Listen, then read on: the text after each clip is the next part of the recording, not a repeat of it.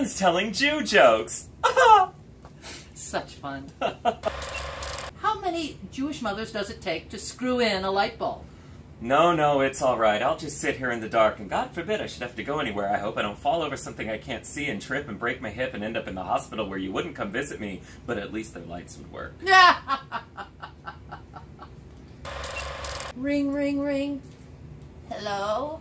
Ma, what's the matter? You sound weak. Oh, it, it's nothing. Don't worry about me. Ma, I'm really worried. What's wrong? Well, it's just I haven't eaten in 38 days. You haven't eaten in 38 days? Ma, why not? Well, I've been waiting for you to call, and God forbid I should have food in my mouth. A waiter walks up to a table of Jewish mothers and says, Is anything okay? Hmm. Rabbi Gwenn, I'm very troubled. I brought my son up in the faith, gave him a very expensive bar mitzvah, and it cost me a fortune to educate him. Then he tells me last week he's decided to be a Christian. Rabbi Gwenn, where did I go wrong? Oh, funny you should come to me. I too brought up my son as a boy of the faith, sent him to university, and it cost me a fortune. And then one day, he comes to me and tells me he wants to be a Christian.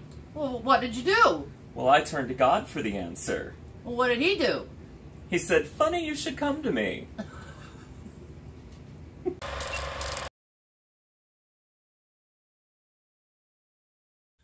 What are you in here for? Ugh, getting my tonsils out. I'm so nervous. Oh, you got nothing to worry about. I had that done when I was four. They put you to sleep, and you, when you wake up, you get plenty of jello and ice cream. Nothing to worry about. What are you here for? Circumcision. Oh, good luck. I had that done when I was born, and I couldn't walk for a year.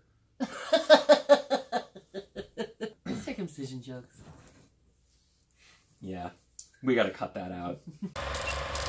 A rabbi walks into a bar. He has a long, long gray beard. He's wearing tzitzis, the whole package. And he has a frog on his shoulder. The bartender asks, Where'd you get that? The frog answers, Brooklyn, there's lots of them there. My son is a very successful lawyer.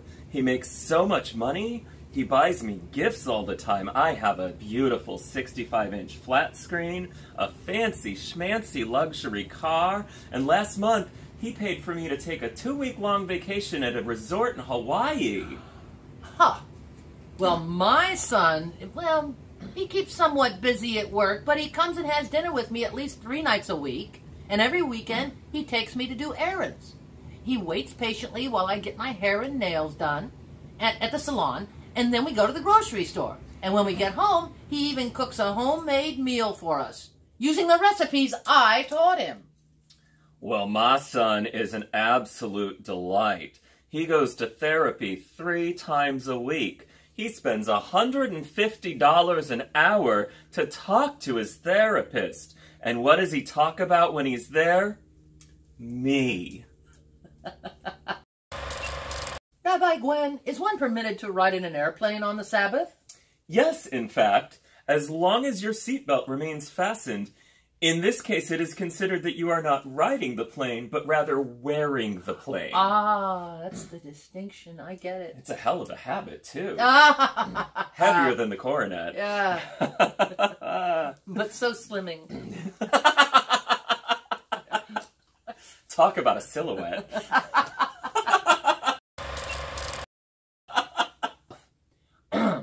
One early winter morning, Rabbi Gwenn was walking beside the canal when she saw a dog in the water, trying hard to stay afloat. It looked so sad and exhausted that Rabbi Gwenn jumped in and, after a struggle, managed to bring it out alive. That was very brave of you. You must love animals. Are you a vet? And what did you expect? Of course I'm a vet. I'm a freezing cold as well.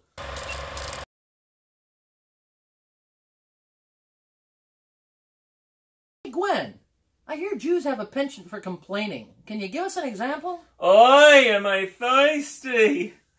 Oi, am I thirsty? Here, let me Oh. help. Let me help.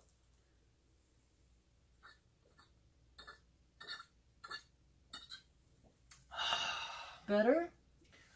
Oi, was I thirsty? Please, ma'am, could you spare 73 cents for a cup of coffee and some pie? Where are you going to get coffee and pie in San Diego for 73 cents? It costs at least a buck and a half. So who pays retail? Mama, Mama, I got a part in the school play. Oh, that's wonderful. What part? The part of a Jewish husband. You march back in there and tell them you want a speaking part. Okay, a Frenchman, a German, and a Jew walk into a bar. I'm tired and thirsty, says the Frenchman. I must have wine.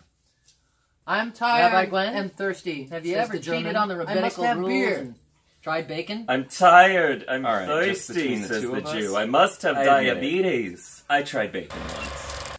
It's pretty good, right? Oh, yes, I definitely enjoyed it. But tell me, have you ever cheated on your priestly rules and tried having sex? Uh, I'll admit it. I, I I did stray once and give it a try. Sure beats the hell out of bacon, doesn't it? uh huh.